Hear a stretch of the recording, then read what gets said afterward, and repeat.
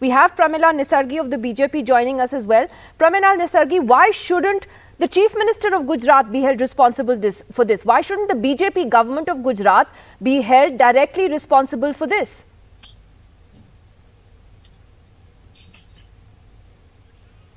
Mr. Dushyant spoke. He was thinking that for everything, what is whatever happening in uh, India, Modi is responsible.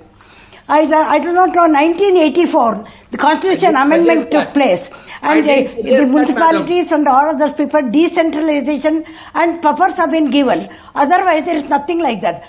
But who must be held responsible? Whether the government or the municipality is the question before us now.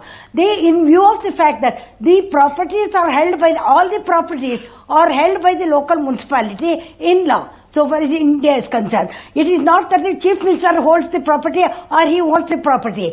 In view of Madam, the decentralization and 134 power being people are conferred dead. on the local bodies, 134 people are dead. Are you saying there is no the responsibility of the elected private- government in Gujarat? Is responsible.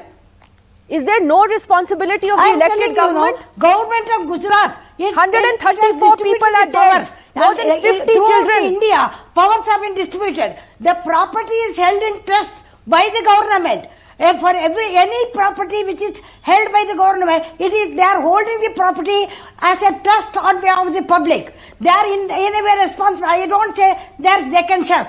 But primarily, the municipality which is there is primarily responsible. When